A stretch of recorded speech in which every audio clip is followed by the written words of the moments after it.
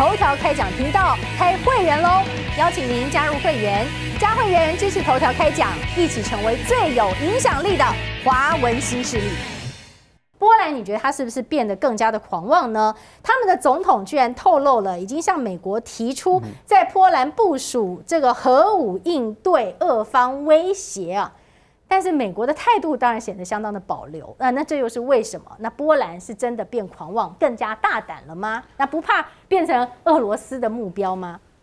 乌克兰俄乌的冲突中，乌克兰是最积极方支持，呃，波兰是最积极方支持乌克兰的，没错。而且这个在过去他们也有历史上领土上的一个问题啊，呃，我觉得对俄国人来说的话，他认为波兰对乌克兰也有领土的野心，特别是。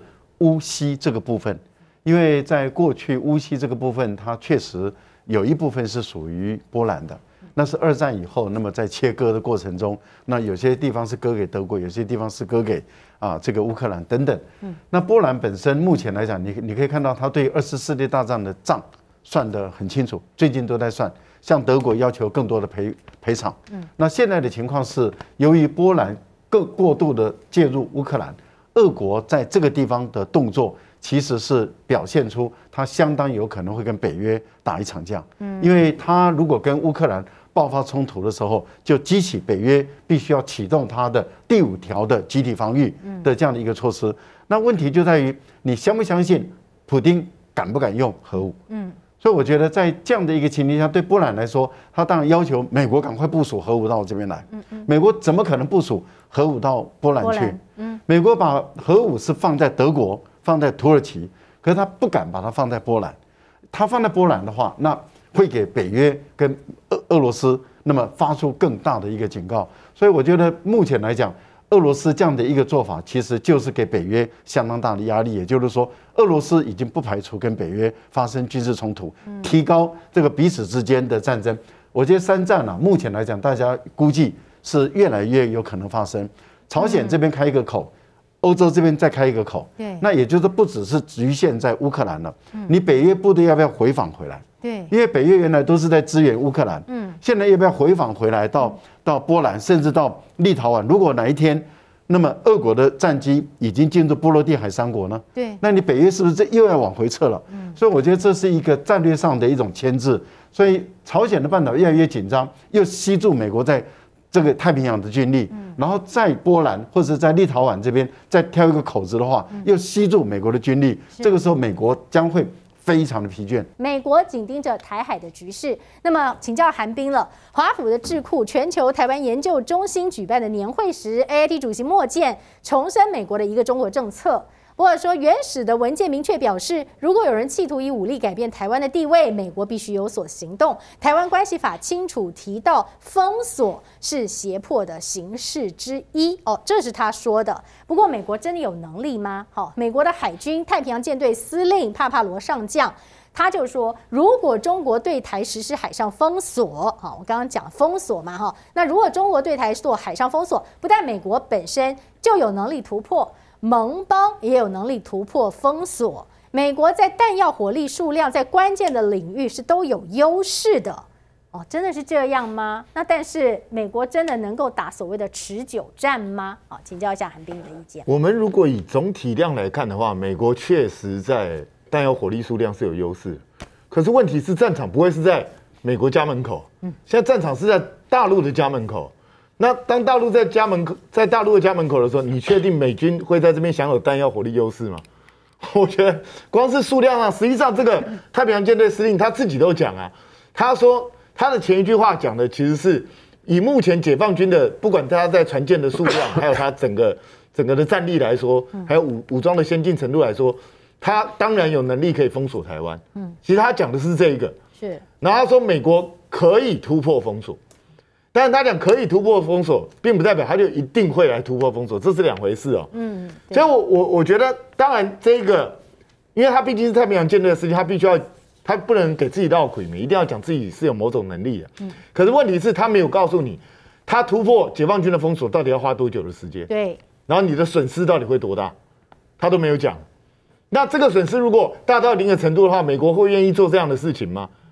那实际上美国自己的战略部署就已经告诉你非常明白，他现在把他的主要战略部署部署在关岛，嗯，就表示第一岛链已经不是他防卫的重心了，表示他认为在第一岛链跟中国大陆做做 one by one 的这样子直接火力火拼，他可能会处于不利的地位，至少对他来讲，他的损伤是比较严重的。所以我我个人觉得这个只是讲讲的说法，只是壮胆的一种说法而已。其实我觉得如果有人相信这个东西，那那恐怕。台湾的未来会很难看哦。不过现在呢，《纽约时报》是以 美国要将台湾变成庞大武器库为题，就是说美国打算要把台湾变成具备有充足的武器可以抵御共军的豪猪。哎，那解放军最近对台的海空演习都显示，中国可能以封岛作为攻台前奏，台湾得自立的撑到。美国或别的国家来介入，那么呢？有华府的智库研究员就说，美台得拉长台湾可以自行抵御的时间，以免中国轻易的实现继承事实的战略，好吧？所以要把台湾变成一个武器库。我请教一下赖老师，怎么样把台湾变成武器库？那一个变成了武器库的台湾会是一个什么模样呢？第一个，我们的问题是卖给台湾还是送给台湾那些武器？嗯，那是哪一个国家生产制造？是美国生产制造？是卖给台湾，还是送给台湾？看起来是要卖给台湾嘛？对啊。所以等于是要把台湾人民的血汗钱吸光嘛？这是第一个部分。那第二个是哪一种武器？哪一些武器？哦，然后第二、第三个问题是谁来操作？嗯。然后操作的时候要有相关的辅助设备，例如说 GPS。嗯。那以现在中国大陆的能力，可以封锁你的 GPS，它还可以打电磁战，瘫痪你的整个电力设施。因为一般来讲，核核弹在空中一些引爆，它事实上都可以瘫痪这个区域之间的一些这个电站的一些设施。是。那另外一个部分里面，您刚刚提到了，那哪一种武器是机枪，还是手枪？嗯，还是手榴弹，还是迫击炮，还是火箭弹，还是说那个玉琴你也背一支背一把枪？以后干脆这样子。我觉得我们刚刚在节目之前的时候，我们有有有在开这个玩笑。疫情就是说，嗯。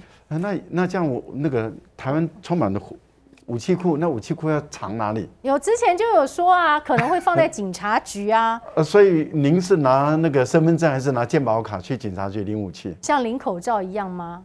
那每个人就领一把。那如果是黑社会的，刚刚好啊。那如果我我今天是混帮派的，我正愁买不到枪，那你刚好给我枪手榴弹，我看我去抢银行、抢超商，那还蛮开心的。那还得要先练习怎么使用，对不对？因为我们都个个都要当像以色列一样的女大兵。那那我们有那么多的训练场，然后如然后您觉得要训练您到能够作战要花多少时间？嗯，不知道哎。呃，所以这个这个简直是你可以看出欧欧美人，尤其是美国人他们的坏心肠。